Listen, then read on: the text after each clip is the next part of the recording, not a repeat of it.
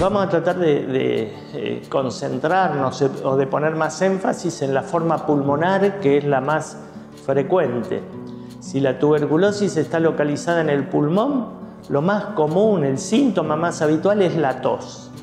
¿eh? Una tos que dura dos, tres semanas, meses.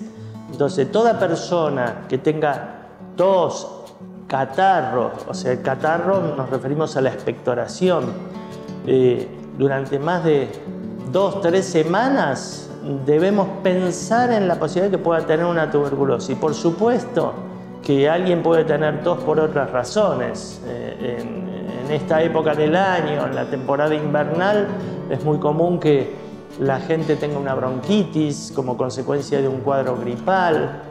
Puede haber una persona fumadora que tose habitualmente eh, como consecuencia del cigarrillo. Eh, quienes consumen sustancias como la pasta base, el paco, eh, pueden también tener tos crónica, pero siempre cuando una persona tiene una tos importante que perdura durante varias semanas y sobre todo si se acompaña de pérdida de peso, de fiebre, sobre todo a la tardecita, de transpiración, sudoración por las noches, debemos estar muy alertas y estamos obligados a descartar que esa persona no tenga una tuberculosis. La fiebre, el adelgazamiento es común a todas las formas de tuberculosis. Después, eh, obviamente, si alguien tiene una tuberculosis en los ganglios y no en el pulmón, puede ser que se manifieste por una tumoración en el cuello, un bulto en el cuello, que bueno, ya el médico eh, hará lo necesario para llegar al diagnóstico. Si está en los huesos puede traer dolor, si está en el intestino puede traer una diarrea que perdura por semanas o meses, etc.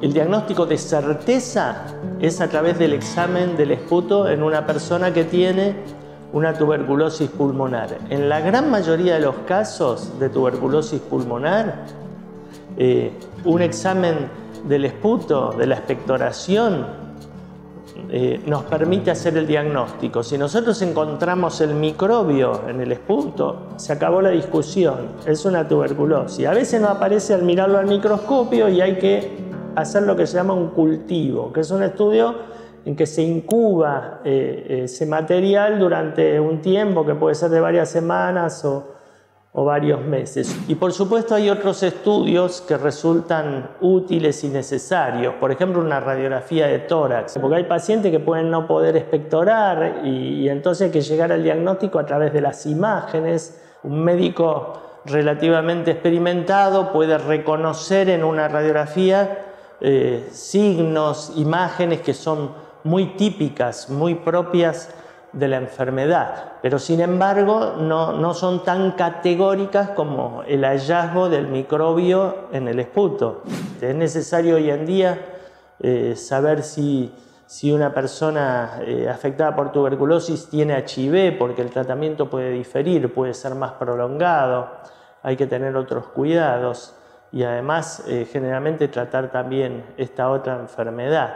Eh, análisis generales de sangre, ver si el paciente no tiene una hepatitis previa por, por el riesgo de que las drogas traigan problemas.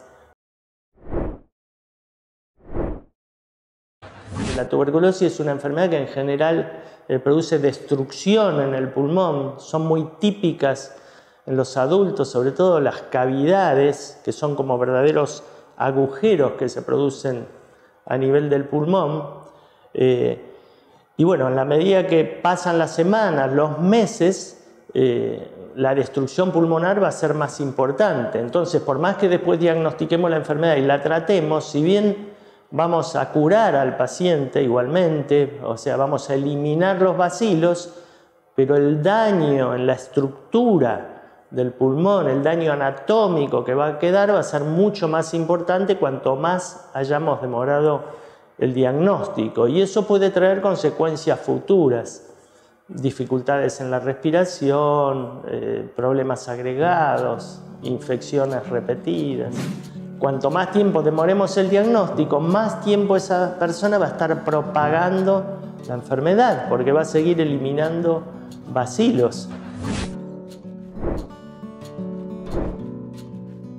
Hoy en día eh, contamos con drogas extraordinariamente eficaces para tratar la tuberculosis. Desde el momento que el paciente empieza a tomar las drogas, eh, disminuye ya muchísimo el riesgo de contagio y en dos o tres semanas ya el paciente no contagia en absoluto. El paciente se empieza a sentir muy bien prácticamente al cabo del primer mes de tratamiento, de pocas semanas, ya empieza la mejoría.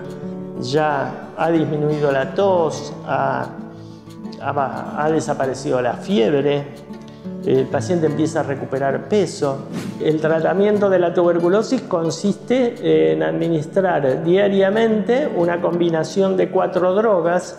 En general, salvo en la ciudad de Buenos Aires, donde las drogas vienen por separadas, eh, en el resto del país, donde las provee el programa nacional, vienen en combinación. Generalmente vienen en un solo comprimido varias varias de estas drogas, pero igualmente el número de comprimidos raramente es inferior a 7 comprimidos por día.